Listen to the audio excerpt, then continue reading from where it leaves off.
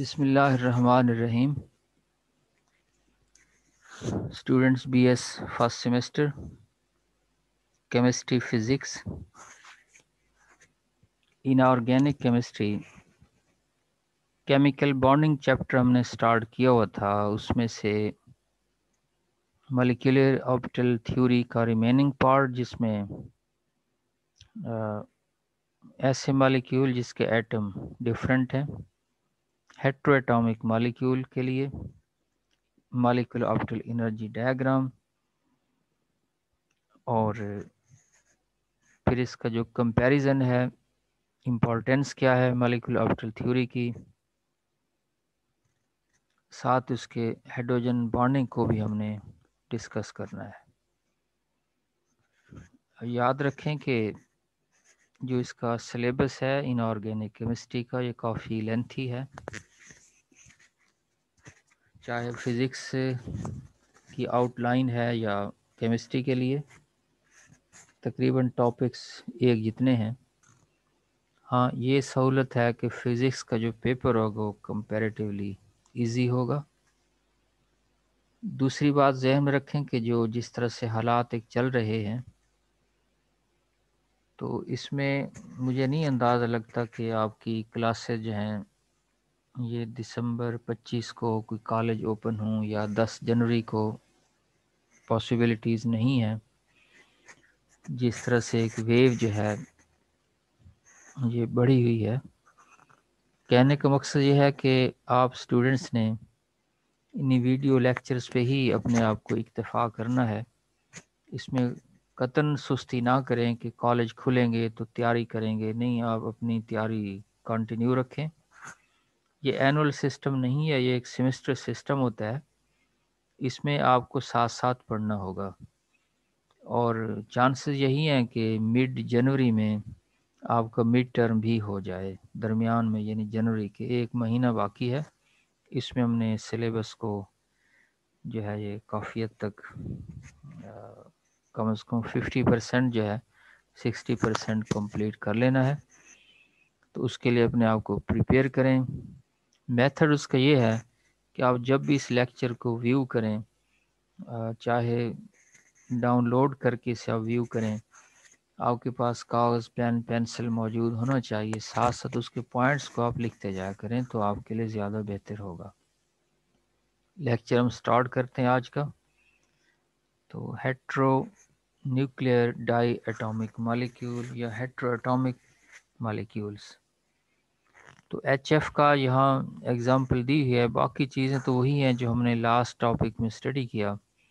तो hydrogen one S one है और fluorine one S two two S two two P X Y में जो है दो दो इलेक्ट्रॉन है जेड के अंदर क्या होगा? एक इलेक्ट्रॉन होगा। एच और एफ़ जब बॉन्ड बनेगा तो इसमें एस का ऑर्बिटल और पी जेड ये लीनियरली कंबाइन करेंगे और एज ए रिज़ल्ट जो है एक सिग्मा ऑर्बिटल जो उसने फॉर्मेशन होनी है। हम इसमें कंप्लीट एक डायग्राम को स्टडी कर लेते हैं। देखें, ये तो शो किया हुआ है कि पी और एस ऑर्बिटल कैसे ओवरलैप करेंगे। और इसके नतीजे में जो इसकी ऑर्बिटल कम्बिनेशन होगा, वो इस तरह का होगा। अगर वाई ऑर्बिटल उसमें से जेड भी हो सकता है तो इन चीज़ों को आप ये रीड कर लेंगे कि ओवरलैप के बारे में उन्होंने इसमें बताया है।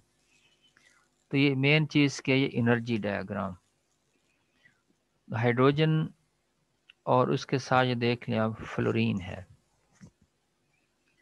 तो हाइड्रोजन का एक इलेक्ट्रॉन और फ्लोरीन का जो टू पी ऑर्बिटल हो, जो भी होगा एक्स हो वाई हो जेड हो तो इसमें भी एक इलेक्ट्रॉन मौजूद होगा। इनके कम्बिनेशन से दो मालिकुलर ऑप्टल रिज़ल्ट होंगे, एक बॉन्डिंग मालिकुलर ऑप्टल और दूसरा एंटी बॉन्डिंग मालिकुलर ऑप्टल अच्छा आप इसमें देख रहे हैं कि जो बॉन्डिंग है, ये इन दोनों की एनर्जी से क्या है? ये कम है एटॉमिक से। और जो ये एंटी बॉन्डिंग है, इसकी एनर्जी इन दोनों की एनर्जी से ज़्यादा है। अच्छा ये जो एनर्जी डिफरेंस है, इन दो एटम की एनर्जी का डिफरेंस है। ये फिर आगे फ्लोरीन का और जो मालिक ऑप्टल बन रहा है, उसकी एनर्जी का एक डिफरेंस आ गया। बहरहाल, क्योंकि दो इलेक्ट्रॉन हैं, दोनों मालिक्यूल ऑप्टल बॉन्डिंग के अंदर रहेंगे एंटी बॉन्डिंग इसमें एम रहेगा। बॉन्ड ऑर्डर अगर आप इसका चेक करेंगे तो ये दो में से माइनस ज़ीरो आप कर देंगे डिवाइडेड बाई टू करके वन आ जाएगा तो एच एफ़ के दरमियान एक सिंगल बॉन्ड बनेगा। ये इसकी डायग्राम को इस तरह आप मैंशन करेंगे। ये सारी उसी की डिटेल है जो इसमें मेंशन की हुई है। इसे जस्ट आपने रीड कर लेना है। तो अच्छा देखें इसमें यानी कोलेंट करेक्टर कितना उसके अंदर होगा। ये जो है डिफरेंस ऑफ़ एनर्जी की बुनियाद पर आप उसे नोट करेंगे। कंपैरिजन है एटॉमिक और मालिकुलर ऑब्जेक्ट्स का, ये बात करते एक शॉर्ट क्वेश्चन में क्वेश्चन दे देते हैं।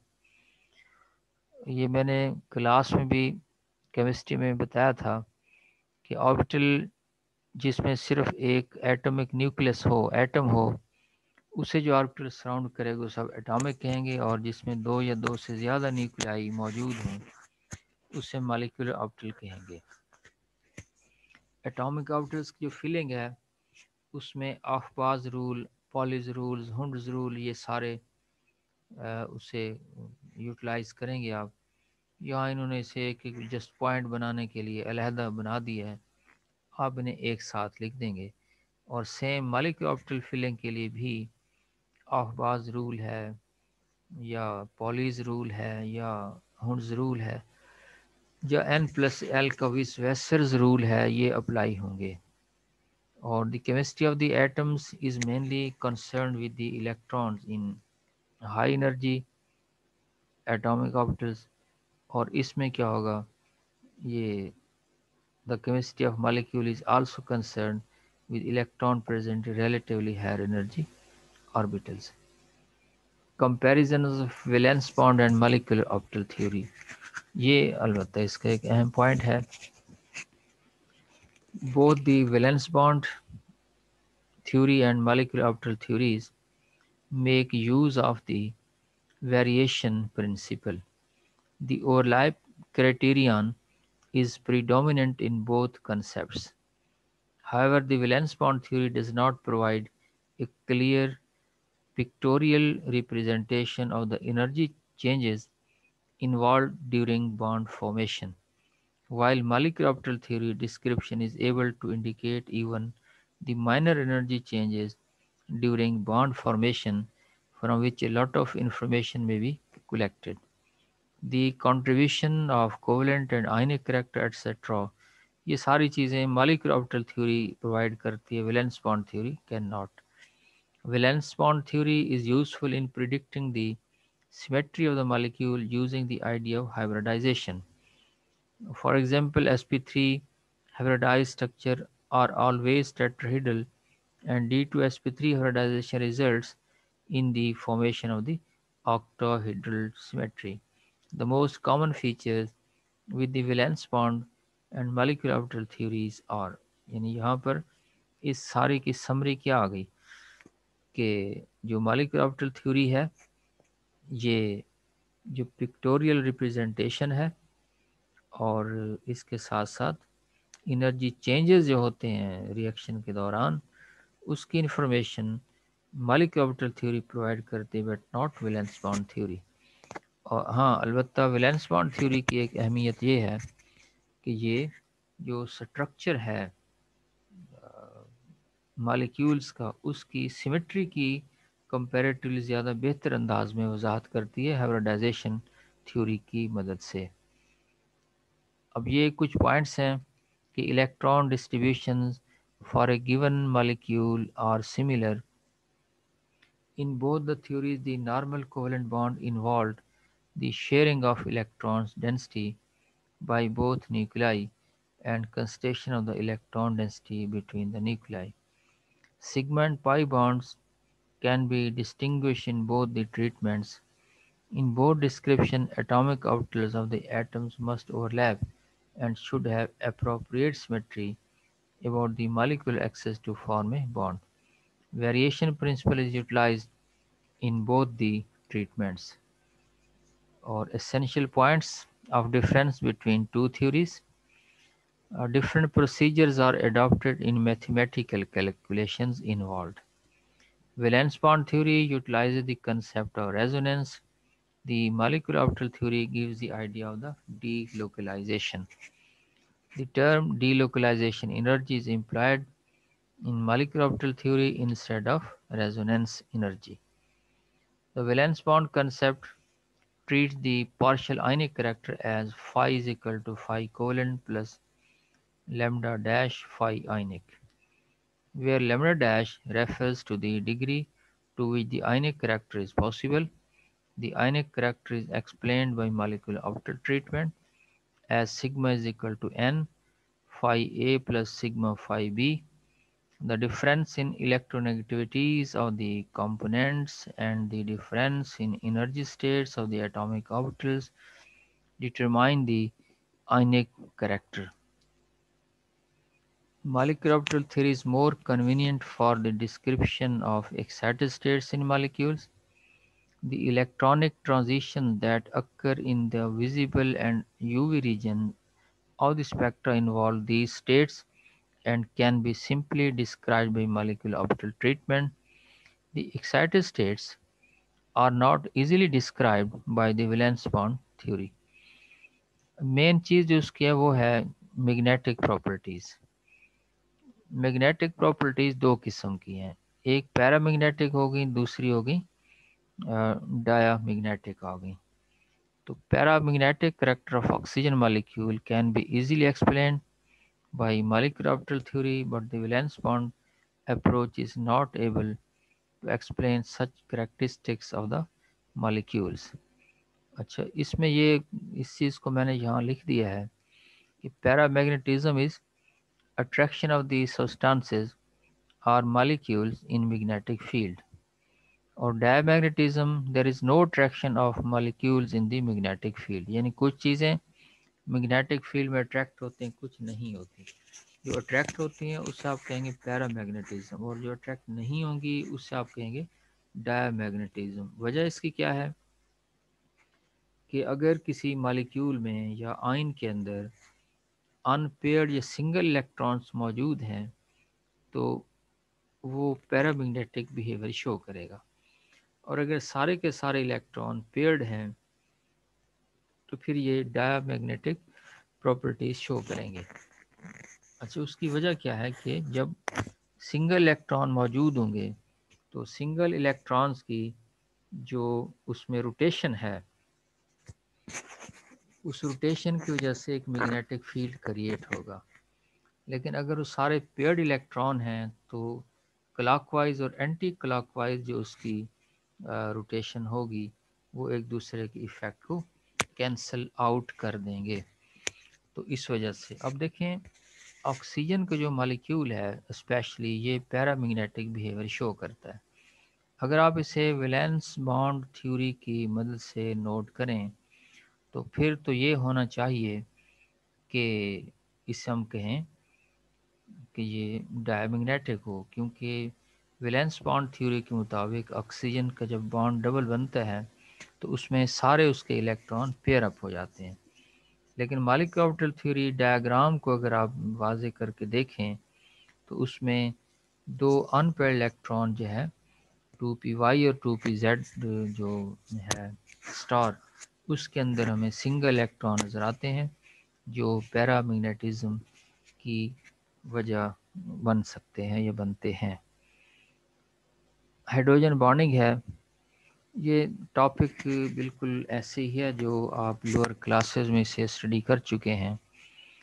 देखें, जब आप नोट करते हैं पीरियडिक टेबल को तो पीरियडिक टेबल में आप लें lithium beryllium boron carbon nitrogen oxygen fluorine की तरफ़ जब आप मूव करते हैं तो आपको इल्म है कि एटम के साइजेस ये डिक्रीज होते जाएँगे। अच्छा ये नाइट्रोजन ऑक्सीजन फ्लोरीन इसके एटम अपने ही पीरियड में क्या हो जाएँगे? बिल्कुल स्मॉलर हो जाएँगे। फिर दूसरी बात, आपको इल्म है कि ये हाईली इलेक्ट्रोनेगेटिव एटम्स भी हैं। फिर तीसरी बात यह है कि इन पर लोन पेयर्स ऑफ़ इलेक्ट्रॉन्स भी मौजूद होते हैं। जब ये नाइट्रोजन, ऑक्सीजन, फ्लोरीन जो स्मॉल साइज़ हैं हाईली इलेक्ट्रोनेगेटिव हैं और लोन पेयर ऑफ़ इलेक्ट्रॉन भी पोजेस करते हैं, ये हाइड्रोजन जो कि बजात ख़ुद एक स्मॉल एटम है साइज़ का, इसके साथ बॉन्ड बनाते हैं। तो इनका जो बॉन्ड है एच और एन एच और ओ एच और एफ़ ये हाईली पोलर हो जाता है, यानी डाइपोल डाइपोल से भी ज़्यादा इसकी पोलैरिटी हो जाती है। Due to difference of electronegativity तो अब इस तरह से ये होता है कि फिर दूसरी बात ये आ गई कि मालिक्यूल्स बनाने के बाद जब इनमें रोटेशन होती है या मूवमेंट होती है तो उससे एक फ़ील्ड जो है मैग्नेटिक या इलेक्ट्रिक फ़ील्ड पैदा होता है स्पेस के अंदर।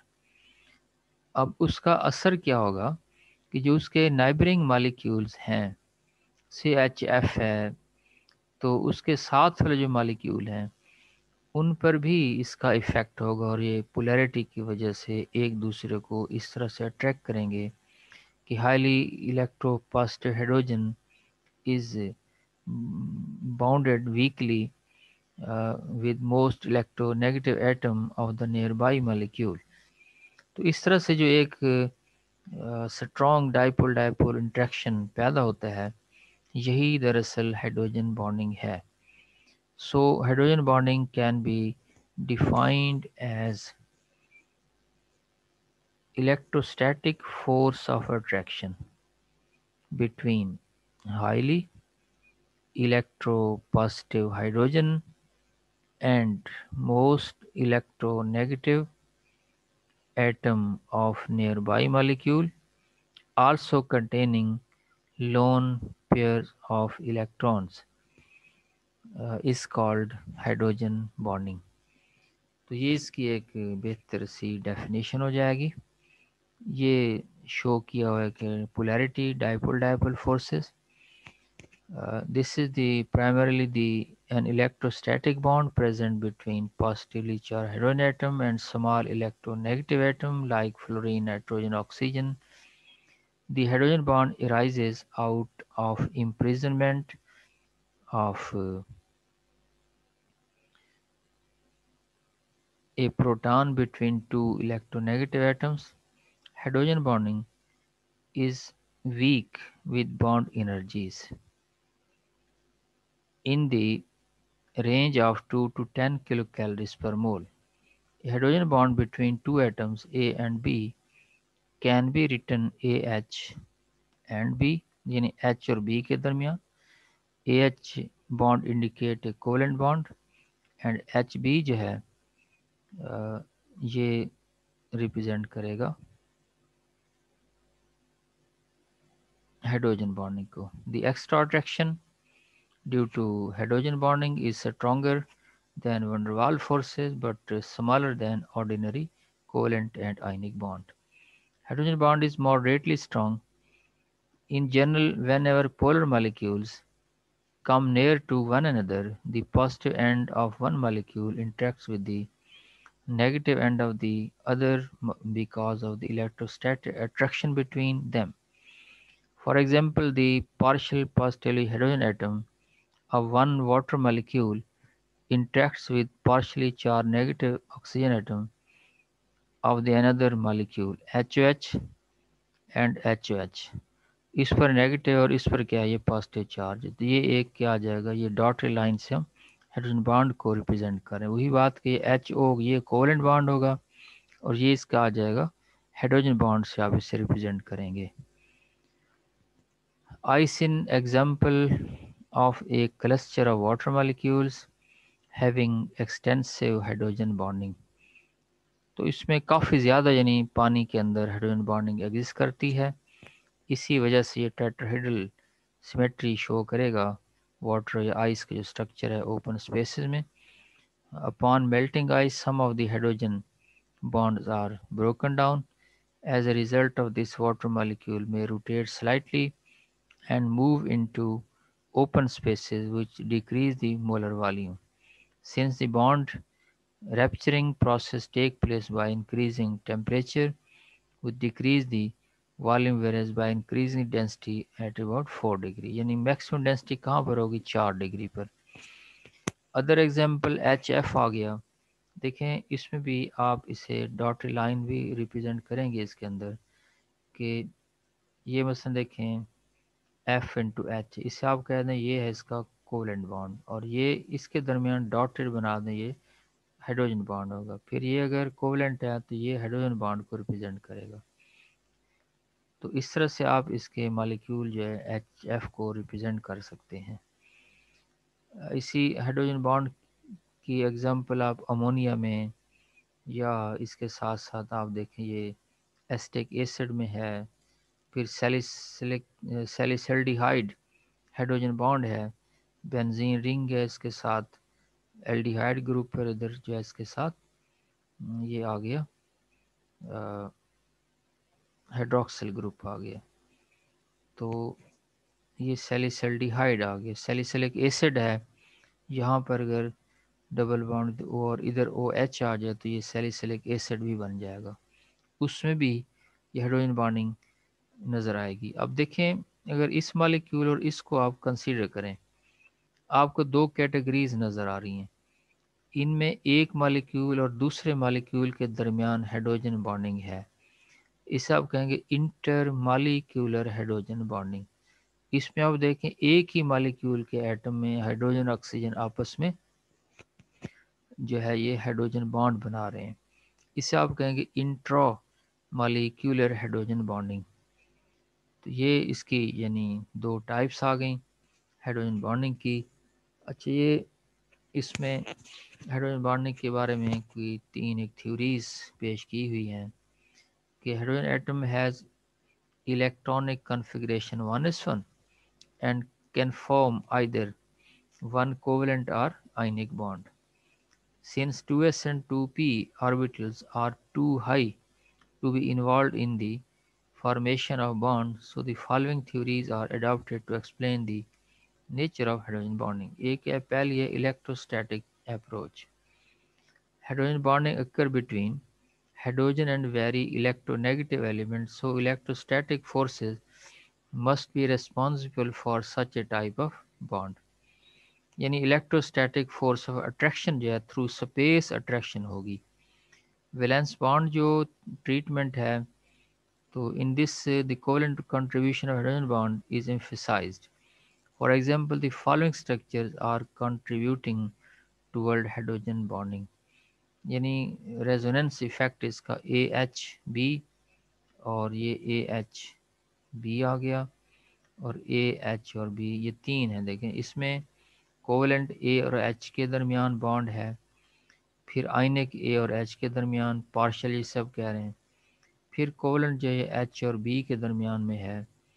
तो ये इसको आप विलेंस बॉन्ड ट्रीटमेंट कह देंगे। मालिकुलॉप्टर ट्रीटमेंट भी इसमें हम दे देते हैं कि Pimentel has considered hydrogen bond based upon molecular orbital theory linear combination of s atomic orbitals of hydrogen and p orbitals of the electronegative element would form hydrogen bonds bonding non bonding and anti bonding orbitals are produce ये बड़ी interesting theory है। Importance of the hydrogen bond hydrogen bond is quite important in explaining the properties of the certain liquids such as dielectric constant dielectric constant क्या है? कि मसला ये जो polarity है पॉजिटिव और नेगेटिव चार्ज उसकी आप कंसंट्रेशन को कह दें, ये सिंपली मैं बता रहा हूँ कि जैसे डाइपोल मूवमेंट है, उसी तरह से ही एक टर्म डाई इलेक्ट्रिक कांस्टेंट है high boiling point low vapour pressure of solvents water and alcohol bearing hydrogen bonds water is a liquid room temperature boiling point 100 है but H2S is a gas because there is no hydrogen bonding in H2S meta and para nitrophenols. uh, because of hydrogen bonding in the orthoisomer. The meta and para isomers show intermolecular association which cause increase in boiling point. Since orthonitrophenol has hydrogen bond in its molecule, it cannot show intermolecular association and can readily be separated from one another having low boiling points. तो ये आप देख रहे हैं कि ये जिस वक्त दो एडजस्टेंट कार्बन पर ये ग्रुप्स हैं तो इस आप आर्थो का नाम दे रहे हैं ये इंटरमालिकुलर हाइड्रोजन बॉन्डिंग शो करेंगे। और इनके एक मालिक्यूल दूसरे के दरमियान एसोसिएशन नहीं हो सकेगी इसलिए जो intermolecular hydrogen bonding show कर रहा है मालिक्यूल आर्थोनाइट्रोफिनोल का। तो ये low melting low boiling points होंगे इसके, जबकि जो पैरा और मेटा है, उसमें हम देख रहे हैं कि दे विल शो उनमें अलबत्ता intermolecular hydrogen bonding possible है, उनके मेल्टिंग बॉइलिंग पॉइंट्स की वैल्यू ज़्यादा होंगी। बाकी ये तकरीबन वही हैं जो आप एफएससी लेवल पर स्टडी कर चुके हैं। Hydrogen bond energies are relatively small and chemical reactions which involve breaking of weak bonds take place radially. Thus, biochemical systems undergo smooth and rapid chemical reaction Hydrogen bonding is in protein is very important in biochemical functions, oxygen transport and storage, hemoglobin regulation of metabolism, control of hereditary transmission, and various enzymatic reactions or activities. या आप समझते हैं इसमें हेड्रोजन bonding की काफ़ी importance है। The structure of nucleic acid ए वो आप एफ़ एस सी वाले इसमें नोट कर सकते हैं। Special characteristics of water due to hydrogen bonding in the molecule water as usually high heat vaporisation specific heat भी इसकी ज़्यादा है। Water act as a large thermostat and confines the temperature of the earth within moderate limits क्योंकि इसकी heat को absorb करने की capacity ज़्यादा है। Water is also use to transfer heat from one place to the other place this is why it is use in automobile radiators heating systems and solar energy collectors के अगर गर्मी बढ़ रही हो, आप नहा लेते हैं। गर्मी बढ़ रही हो तो आप पानी छिड़काव कर देते हैं। वो हीट को एब्जॉर्ब कर लेता है और वहाँ से इवेपरेट हो जाता है। Other simple hydrides of the strongly electronegative element associated through hydrogen bonds also show high melting boiling points फिर यह है कि hydrogen bond is responsible for unexpected high solubilities of compounds containing oxygen and nitrogen in the solvents having one or more hydrogen atoms on a fairly electronegative atom. For example, organic acids, halides, are generally soluble in chloroform rather than CCl4.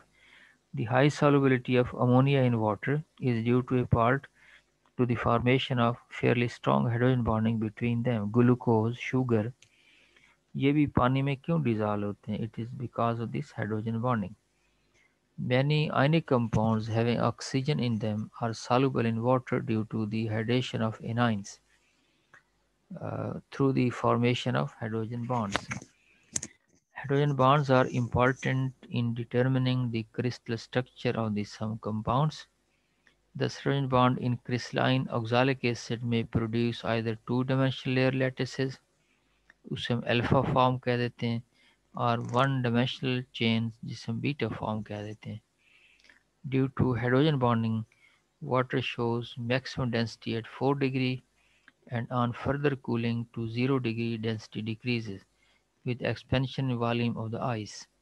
Water pipes burst if temperature fall below 0 degree ice floats on the surface of water. Uh, this uh, has a great advantage as marine animals and fish etc. remain unaffected by ice formation on the surface of the water. तो इसे detail के तौर पर कुछ और books को भी आप कंसल्ट कर सकते हैं साथ साथ यह कि जो एफ़ लेवल पर हाइड्रोजन बॉन्डिंग की डिटेल दी हुई है, उसे भी आप इसमें शामिल कर सकते हैं बस ये आज का लेक्चर थ्योरी है, सिर्फ़ समझते जाना है, कोई ऐसा मसला नहीं है आप इजीली इसे कर सकते हैं थैंक यू वेरी मच बस आज का लेक्चर अख्ताम पजीर हुआ।